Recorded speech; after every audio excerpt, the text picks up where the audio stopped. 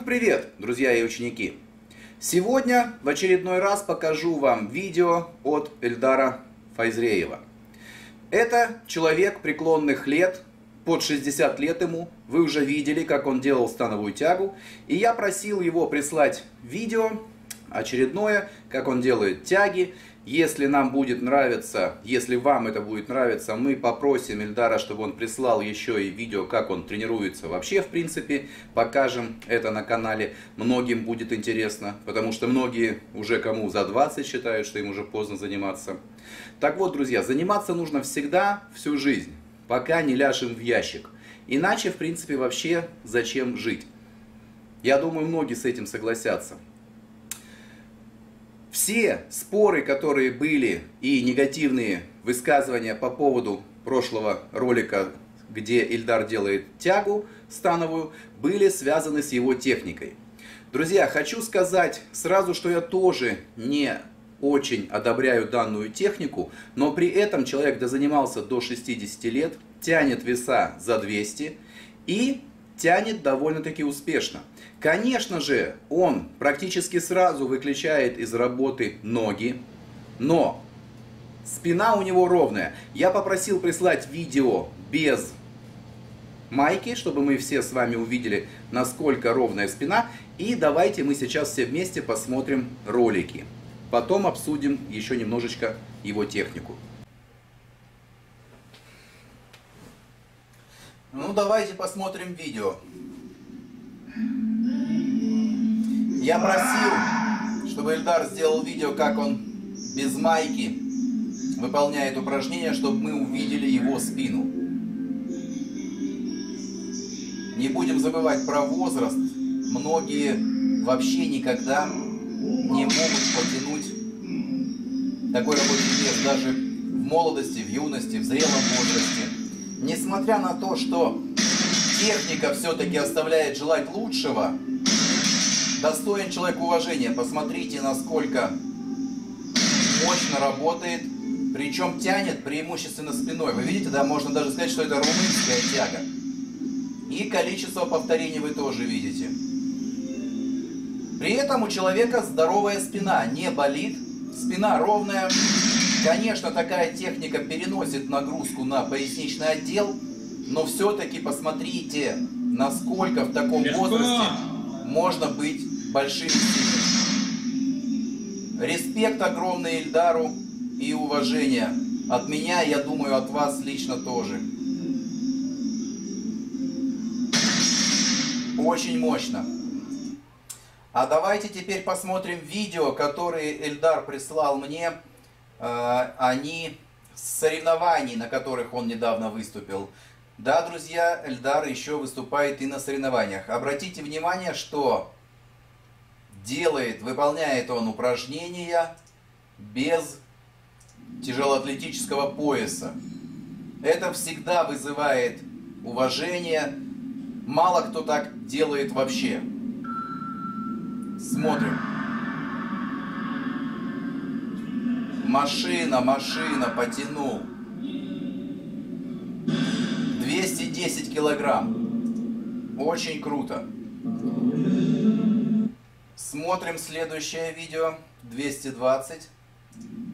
Тоже без пояса.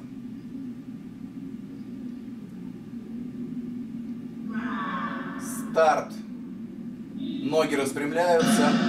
И Эльдар тянет спиной. Если бы, конечно, он хотел и потратил немножечко времени на то, чтобы подправить свою технику, больше включать ноги на старте движения, он еще больше бы работал с более тяжелыми весами. 220. Есть. 220 килограмм, друзья. Кто из нас способен на такое? Вот мы посмотрели ролики, друзья. Сразу уже хочу оговориться, точнее поправить самого себя. В последнем подходе Ильдар сделал 230 килограмм, потянул, а не 220. Он выполнял три попытки, сделал 210, 220 и в последнем потянул 230. Все без ремня. Многие ли из вас, из нас способны на это, тем более в таком возрасте. Это лишний раз доказывает то, что тренироваться нужно, то, что тренинг укрепляет наше здоровье, мужское и женское тоже. Нельзя жить и быть здоровым, не тренируя тело. Естественно, не обязательно и может быть даже не стоит выступать на соревнованиях, но тренироваться необходимо. Если вы смотрели все ролики внимательно, вы увидели, о чем мы всегда и говорим, что Эльдар тянет спиной, исключительно спиной. Это даже я бы назвал не становой тягой, а румынской тягой. Можно было бы подумать, что у Эльдара слабые ноги. Но нет, Эльдар приседает тоже с достойными весами. И может быть как-нибудь он пришлет нам видео, мы вам тоже его покажем. Единственное, что Ильдар тянет спиной, не включает ноги. Если бы он, я в этом уверен, включал ноги на самом старте движения, опускал бы таз, как положено, в нижнюю позицию, максимально нижнюю позицию, как это делают, стараются делать большинство пауэрлифтеров. У Ильдара не такая э, конституция тело, чтобы, к примеру, это было ему неудобно. Нет, на самом деле, скорее всего, просто так была поставлена техника и так всегда э, она нарабатывалась. А очень сложно переделывать что-то, что уже сделано. Особенно наработанное в нашем мозгу. Все вы это знаете, да, что ремонт хуже, чем изначально что-то делать с нуля. Точно так же и с техникой. Поэтому всегда на начальном этапе старайтесь правильно поставить себе технику. У Ильдара действительно мощнейшая спина. У него не слабые ноги. И за счет этого он хорошо тянет. Но если бы, повторяюсь, он работал в более классическом стиле, он бы тянул еще больше. В принципе, таких примеров много. Есть мужчина, я покажу вам, возможно, в ближайших роликах его тоже, ему уже за 70, и тянет он еще больше. В любом случае, уважение от меня и уверен, что от всех подписчиков моего канала Ильдару. Пожелаем ему успехов и его ученикам, и в тренировках, и на соревновательном помосте. Все, друзья, кто хочет, чтобы мы все увидели, обсудили его тренировочную программу, его соревновательные движения, можете присылать мне э, свои видео ВКонтакте или на почту. И я, если посчитаю интересным это, обязательно выложу на всеобщее обозрение. Мы все с вами будем это обсуждать.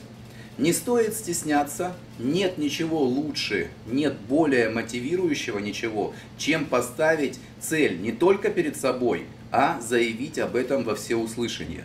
К примеру, если вы хотите похудеть, возьмите, снимите ролик, я его выложу на канале, и вам деваться будет некуда, кроме как достигнуть своей цели. Это касается как парней, так и девчонок. Будьте внимательны к тому, чем вы занимаетесь. Старайтесь изучать то, чем вы занимаетесь. Эльдару огромный респект его ученикам, а он не только тренируется, он тренирует и сам. И желаю всем нам такого же здоровья и такой же силы в его возрасте. Удачи, друзья! Увидимся, как всегда, в тренажерном зале.